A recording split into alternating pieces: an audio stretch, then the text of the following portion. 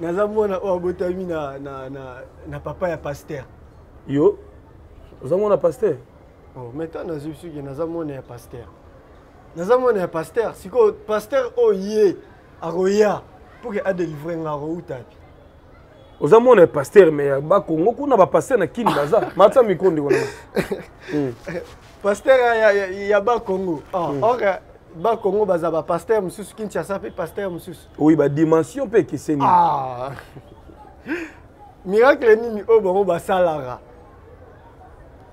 omoni eh, babilo mosusu oyo bino ezotrompe bino eza nini pasteur azosala miracle bozwi bate azwili yango wapi hein nga nde naza boye pasteur nayebi te eh. soki bazali baya naobenga bango baya baya baoyo baza besoin na nga le mystérie aza besoin na bino yo pasteur yo ozolanda nga ndako le mystérie aza aposa na yo ana besoin de délivrance parce que dimension akomi nango eleki makasi eza makasi pasteur wana aya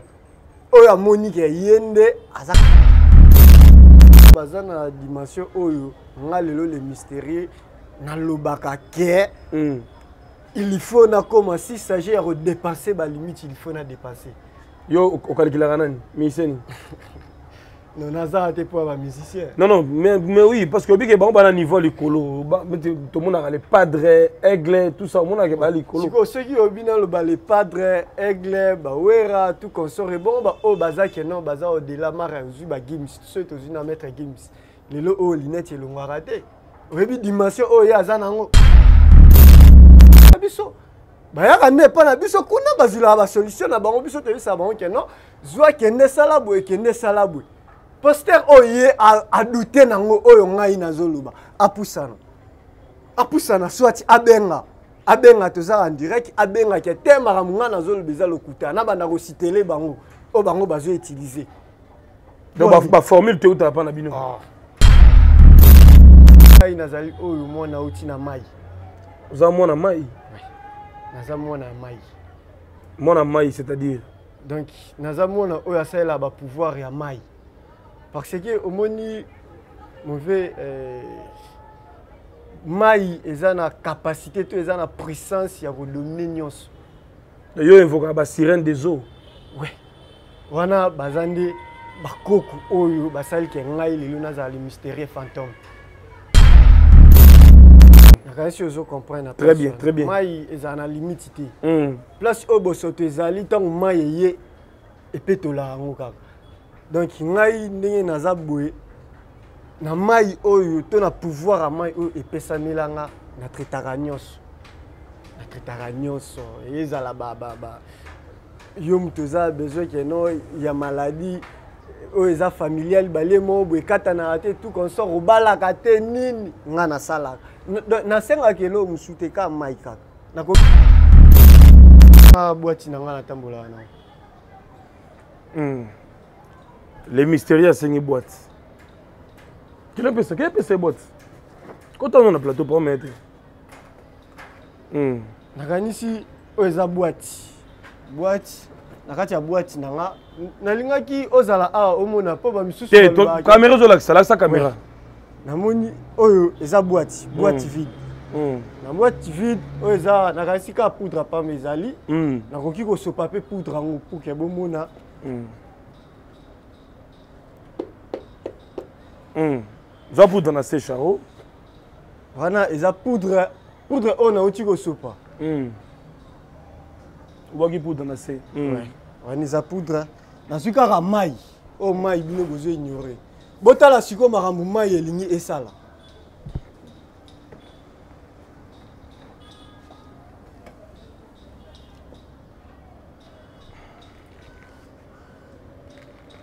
otie mai na, na bwati na yo natie mai na kati ya bwati na ngai mm.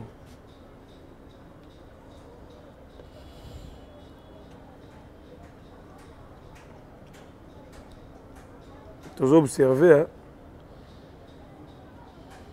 osali prière mm. otala kaka ah. oh, mai ebimisi mbongo 50 dollars ebimi 50 mosusu 100 botalaka nakotiaki mai me mbongo ezobima ya mai te donc mm. soki ezozwa mai c'est parce que mai ezotanga na bwati très bien ouais.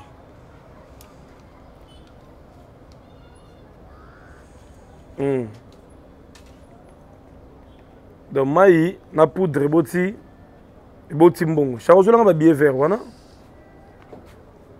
mm, donc euh... les enfants de dieu napesi bino mbote na nkombo na yesu c'est bien moi votre frère le pasteur israël nash je vous salue au nom de jésus je suis précisément à kinshasa naza responsable ya ofelina jésus et mon papa naye liboso na bino mpo na kopresente bino bana oyo bozomona na bilili mpe badifficulté toza nango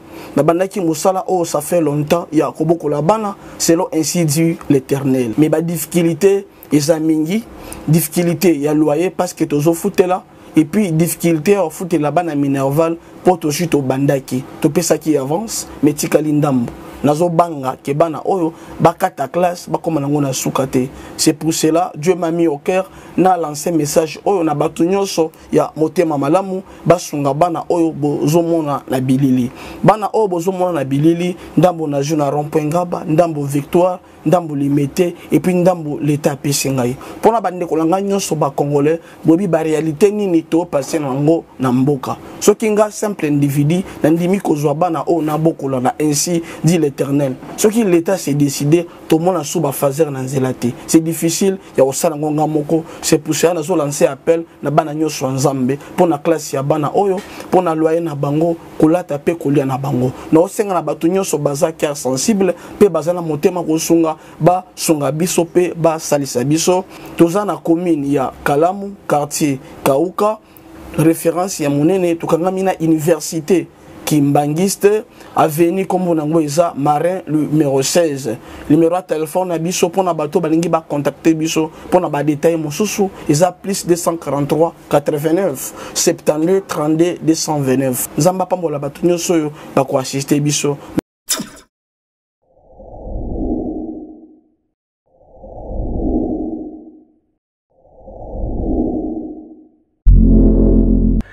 Voilà, merci à tout le monde, euh, très chers amis téléspectateurs. Vous nous regardez de partout à travers le monde sur Équilibre Télévision. Jérémy Louemba, le renard du désert est devant vous. Alors abonnez-vous très massivement pour nous soutenir. Un clin d'œil spécial à tous nos abonnés ainsi qu'à tous nos partenaires. Mimindoume na là-bas, na pensé également à Gérard Sadam na Manchester, le conseiller Papa Philippe Kabouikou na Fribourg et pourquoi pas à euh, celui qu'on appelle le boss Chicha Chimbo na Turquie. Je suis là avec un Congolais, un jeune compatriote. Il vient de quelque part, Toye Baye, Kombo Nani, et puis Moussala Nini, Oyo oh, Yasalaka na société. Je pense que vous allez bien pour aider quand même plusieurs Congolais qui nous suivent en ce net instant. Alors, sans plus tarder, mon invité déjà là, Nderonanga Mbote. Ouais, Mbote. Voilà, je crois que le monde entier va mon ibiso. Euh, combo nani pour nabato ba ebité. Bon, combo nangai le mystérieux. Fantôme le mystérieux, nauti na mboka Congo central, précisément na mboka Bayombe. donc kuna nde nga nabimeli fantôme le mystérieux mais namoni oza trop jeune okomi mystérieux yango kaka boye ou bien ozalaki déjà initié mwa mikolo ebele déjà ouais, ouais, ouais. kozala mystérieux etalaka age te très bien etali age te parce que monde ya mystère to monde ya mystique ezala mwana oyo abotami lelo aza mpe mystique mm -hmm. mwana oyo abotami lelo soki abotami deja na makambo seke aza mystique mais ya yo yoko bango ndenge nini fait olokota kisi na nzela batekeli oyo yango to esalama na ndeli mpo koma mystérie papa parce que nkombo wana ezopese eh, mystère nini osalaka mystique nini osalaka ah, ouais. omoni eh, soki oyebi ke nkombo na ngai ezopese to oluka koyeba na façon oyo nakomela le mystérie oyo naza eza c'est parce que eza pouvoir oyo epesamela nga kowuta baancetre na ngai epa na bango nde elingaki kosala neti kobunga ngai yo oyebi kaka keno soki esi batya yo mosapi mosapi wana ezalaka ya yo bapona yo ngai naza deya moponami hmm. bato baluka baintercale na bafaçon tout mais esimbaka te esimbaki bakoko bapona yo bakoko bapona deja ngai bapesa yo nzungu bapesa yo pouvoir basala ndeni makambo ezali oyo etali nzungu oyo etali babiloko nyonso to wana ezali parce que ngai nazali oyo mwana auti na mai oza mwana mai naza mwana ya mai mwana mai c'est-à-dire donc naza mwana oyo asalela bapouvoir ya mai parce que omoni mauvais euh, mai eza na capacité to eza na puissance ya kodomine nyonso yo evokaka basirene des eaux we wana baza nde bakoko oyo basali ke ngai lelo nazala le mystérieux fantôme mm-hmm. bamisusu bayaka oyo naza na 4 secret mai moto mabele tout ça mai yo oza plus basé na pouvoir ya mai doyosoloka na batati wata basirene des eaux donc omoni soki obi oyebisanga ke non eza bato bayaka na ba 4 5 ozomona te ke basangisaka voilà omélange bazomélange eza ya bango te me ngai na utilisaka kaka moko mai kaka kaka mai ngai na utilisaka kaka moko kaka mai partout nazalaka nyonso oyo oza yango besoin epai na ngai ezalaka kaka mai donc na, na, na océan ofandi oinvoke baesprit wana esika nyonso mai ezali si s'agit ya océan si s'agit ya wapi wapi meme ya mai na kopo esengi ke nasala yango nasalaka Ah. parce que epesamela nde ngai pouvoir ya mai pouvoir ya mai donc partout mai eza nde partout nga mpe nakozala donc oza mpena nyama mai ko naza vraiment ya mai voilà merci beaucoup le mystérieux je crois que monde entier bazo landa biso nous sommes en direct de kinshasa alors outi congo central na mboka bayombe oye oza na oza na je dirais oza nyama ya mai yo opesaka pouvoir ozwa pouvoir na mai opesaka makambo mpe na mai mais makambo nini yo otraitaka ofeti moto aotala biso ntango ayoki oza mystérieux osololaka na mai siko opesaka nini ofeti na bato osalelaka bato nini euh, omoni ntango nabiki eh, naza ya mai seke mai epetolaka kaka nyonso mai ezalaka limite te hmm. nakanisi ozo comprendre très bien très bien mai ezala na limite te hmm. place oyo bosoto ezali ntango mai eye epetolaka yango kaka donc ngai ndenge naza boye na mai oyo to na pouvoir ya mai oyo epesamela nga na traitaka nyonso na traitaka nyonso ezala ba, ba, ba.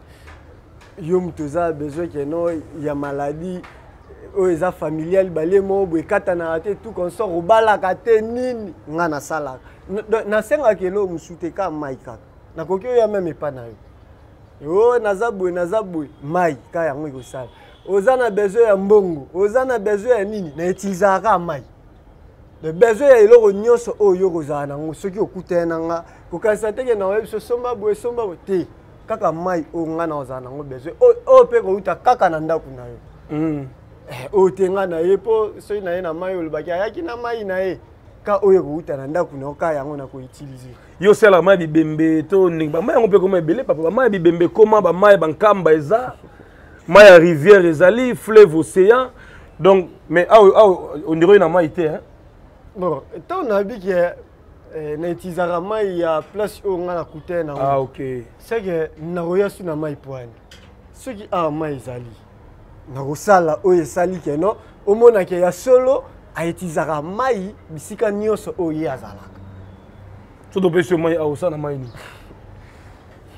wana eza makambo na ngai to biso mai obongola yango to tosala nini wana eza makambo na ngai mai soki ezali so esengi ke bandeko oyo baza bipai na bipai bamona mosala mai esalaka eh, mai mpe esala mosala estce mai eza mai mpe eza te eh? nazalaka mwa mai moke moko etikalaki ah, mais oyo yango obenga mai ya moke ya mai ebele ah papa yo omona yango oseya oh, me ngai na yoso mai nga azomona yango demi vert ozomona yango demi vert c'est parce que oyebi te ah. parce que oyebi yango te so selon yo ozomona yango ndeni oh, oyo naomona yango eza ma grand lac oyo eza laki laki tanganyika yango nzambe ozondima te ozondima te te bato nde baotala kuna ngai na bombe na bandi na kotuna yo mpo yo ozodute nango mai nde esokola ngai te soki osala makambo na yo nde esokola nde ngai te mpo bato mosusu baoki ozomona yango laki nazo kompone te bongo namoni mai na ngai naomela nabipeso mai ah. yo nyama mai hmm. yo oza le roi de sirène ogéraka basirène hmm. oyo ntango nabike eza laki fo ondimela yango eza laki alors natikolo plateau eh? okay. Hmm, ekomi elaki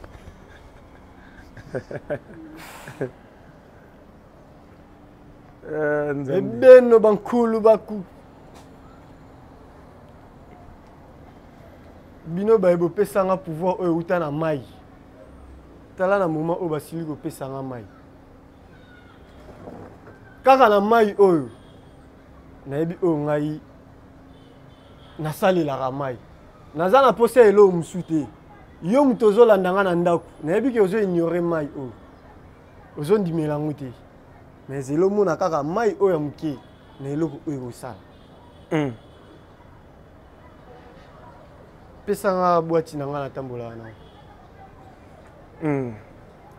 le mystérieux asengi bwati kilo pesa kilo pesa bote kota ngo na plateau pour mettre hmm nakanisi oyo eza boîte boîte na kati ya boîte na nga nalingaki ozala awa omona mpo bamisusu te kamera ezolakisa lakisa kamera namoni oyo eza boîte boîte hmm. vide hmm. na boîte vide oyo eza nakanisi kaka poudre apama ezali hmm. nakoki kosopa mpe poudre yango puke bomona hmm. zwa poudre na secha o oh. wana eza poudre poudre oyo nauti kosopa hmm. obwaki poudre na se hmm. wana eza poudre nazwi kaka mai oyo oh, mai bino bozo ignore botala sikoyo makambo mai elingi esala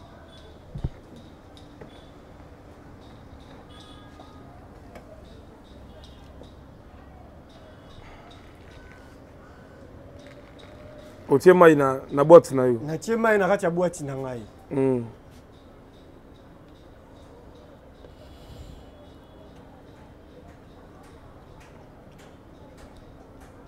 tozo observe hein? osali prière mm. otalaka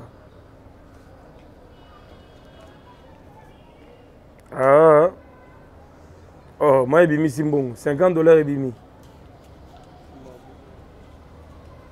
50 mosusu 100 botalaka nakotiaki mai me mbongo ezobima ya mai te donc mm. soki ezozwa mai c'est parce que mai ezotanga na bwati très bien ouais.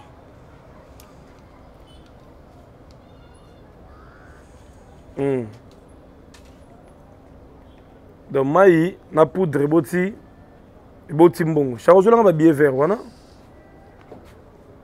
hmm, donc euh, na comprendre sikoyo utilité ya mai donc yo mai soki osaleli mai bakoko barépondaka yo c'est bon okokal hmm.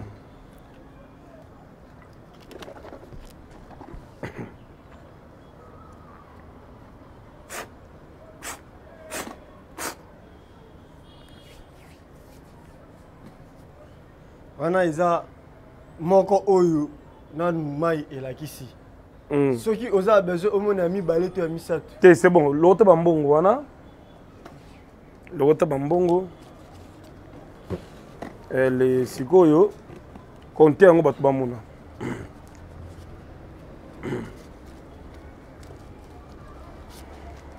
50, 50 100, 150, 200, 250.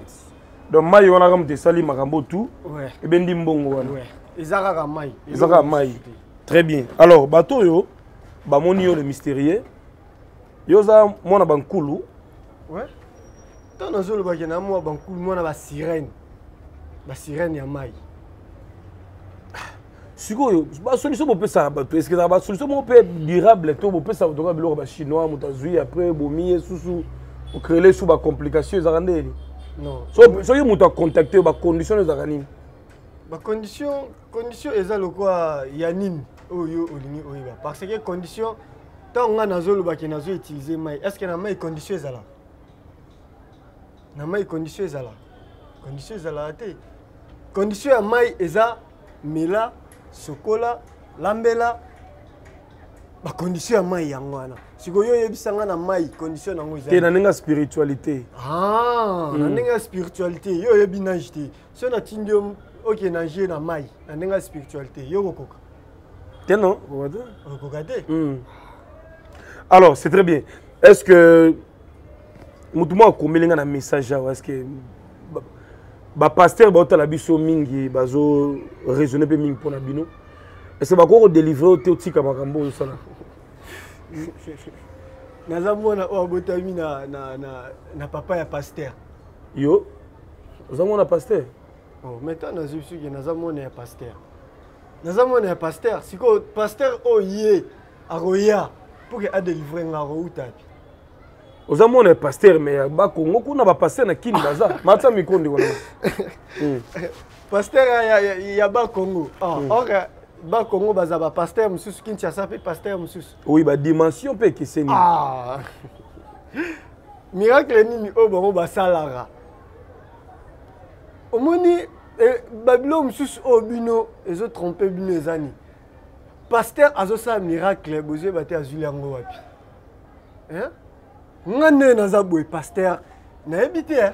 soki bazali baya naobenga bango baya baya baoyo baza besoin na nga le mystérie aza besoin na bino yo paster yo ozolanda nga ndako le mystérie aza aposa na yo ana besoin de livrance parce que dimension akomi nango eleki makasi eza makasi paster wana aya oyo amoni ke ye nde aza capable ya kodelivre le mystérieux kokosamaka te mon cher omoni bapaster oyo bazosala moya babiloko ya mike oyo alobisa ye motu tel asalaki boye bakendaka mosika te bayaka kose référé epai ya biso bayaka nde epai na biso kuna bazwilaka basolution na bango biso toyebisaka bango ke non zwa kende sala boye kende sala boye poster oyo ye adoute nango oyo ngai nazoloba apusana apusana swati abenga abenga toza en direct abengaki te makambo ngai nazoloba eza lokuta na banda kositele bango oyo bango bazo utiliser donc baformule toyutaka mpa na bino ah. alors alors est ce que oza congolais c'est vrai outi congo central oye lelo tozovivre baeglise ekiti mo moke mais tomoni plus impact eza mingi kote miziki so otali fali ferre bakangi actualité baosala baplein baévénement parci par là est ce que musique mpe ezalaka na ezalaka na secret ezalaka na pouvoir ebatama na musique mais nakanisi eloko nyonso soki ezangi secret eza eloko te hmm. parce que meme yo ndenge oza boye kolonga na yo ndako ti okóma na esika oyo eza na eloko moko otikali oyebisa femme na pale seke eloko wana eza deja secret ya yo na mwasi to mpe eza na eloko moko olobeli ye te oyebisaki madame nakei chaîne naosala émission boye mais ntango okomaki na nzela ozali na kalki moko osala na nzela oyebisaki ete mm, donc imprévu oui. Mm, mm. tout comme imprévu tout comme mpe ezalaki secret moko boye obombaki mm. quelque part mm. ke ah soki nayebisi efo naleka na mwa kwe moko boye akosilika na osala nini na kwe wana donc secret eza eza partout mbote bandeko eza lisusu ngai mama mika la cosmétologue réparatrice ya loposo toye lisusu na baproduit na biso sans hydroquinone fait ya base ya bafruit c'est naturel a ah, toza na te métise na biso mpo na basi ya pembe mibala pembe yo motu pembe na yo ebeba egata kima mbangu osalela te metise na biso solution yango oyo eye ata wana mafuta mpo na bata mwindu bata shokola oza mwindu shokola kima lombango mafuta na bino yango oyo fa baza bafui tozali na crème réparatrice mpo na bato nyonso bana problème ya tampon cancer de peau nduta oyo oh, bandeko boya mbangu tozali na huile d'anana huile d'anana ezosunga makasi fe ya base ya anana bandeko na ngai bokosepela makasi tozali na gommage café na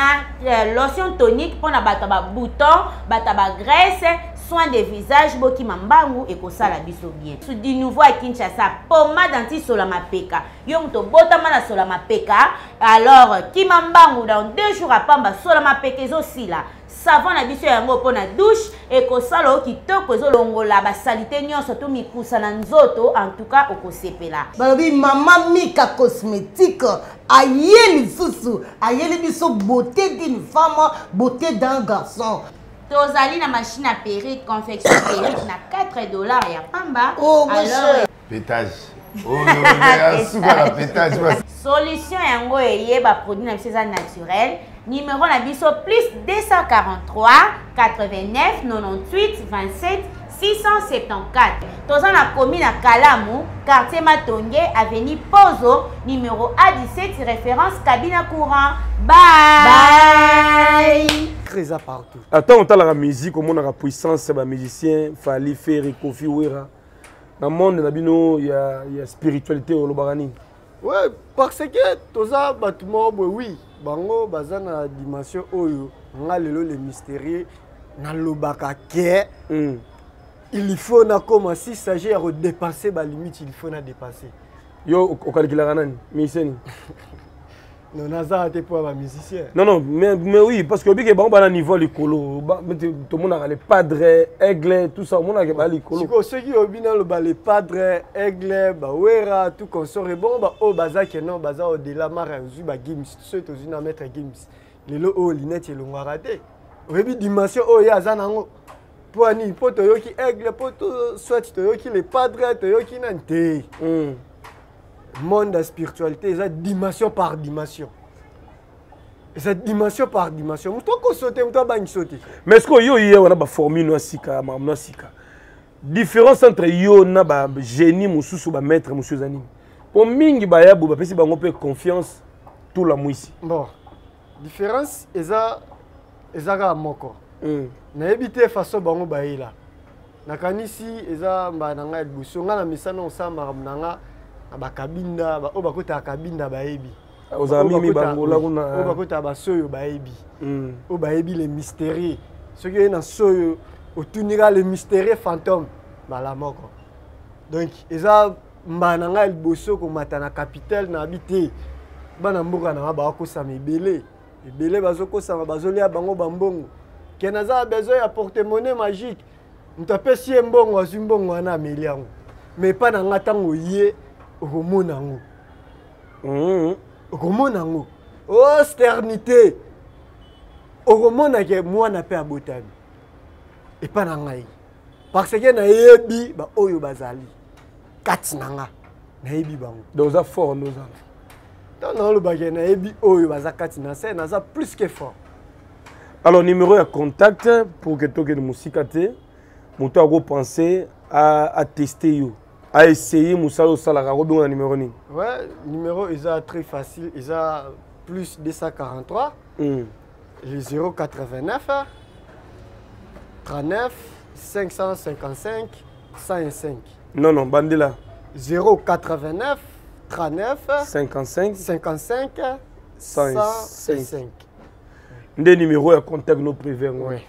nga numero na nga soki obengi mbala moko okokuta le mystere aza wana numero na nga eza opérationnel ekangamaka te 24 heures sur 24 voilà merci à raoul kidumu depuis montréal na canada raoul kidumu le président pedro mutu leader à jeunesse à association main dans la main depuis la ville fontaine et puis partout na france wana te remercie encore une fois mimi ndumi na moshinglaba nadine maifuila na bruxelles